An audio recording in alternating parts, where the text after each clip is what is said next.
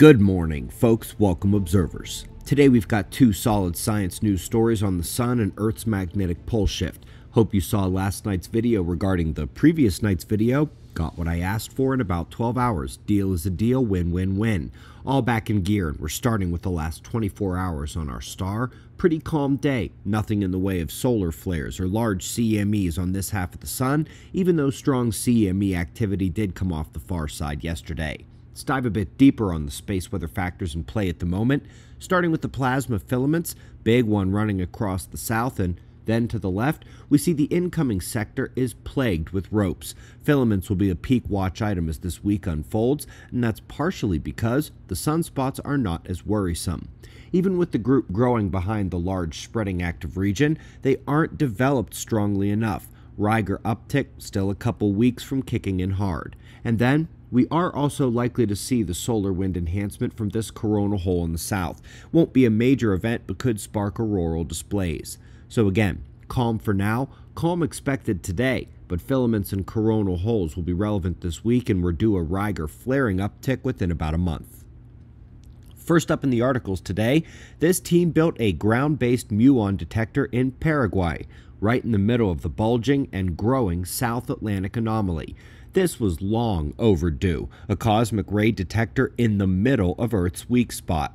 They already got great results last year, which they are reporting here, but most importantly, they are poised to be able to track the space radiation influx at the Earth's weak spot as Earth's magnetic pole shift unfolds. Brilliant.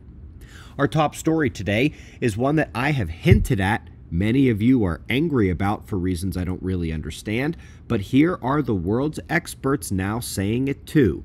Good chance the grand solar minimum is not happening. We're seeing extreme ultraviolet and radio wave signals that say the Gleissberg centennial minimum has passed. That was at the end of the last solar cycle. That would be all the drop we would be getting if that's the case, a very minor minimum, not a grand minimum.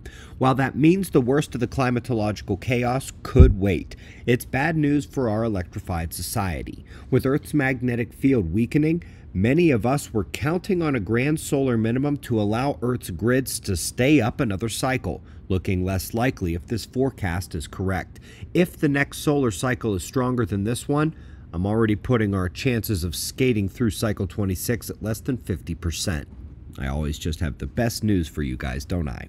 But as I mentioned earlier, yes, it sucks that it came to that the last two days, but the right thing was done, and quickly. No events are altered. Quail Day coming this weekend, then Pole Shift Conference and Chicken Day the 19th and the 20th, grand opening and Dr. Pierre Marie Robitaille the weekend after that, astrophotography class and Kings of Catastrophe weekend with myself and Dr. Dunning after that.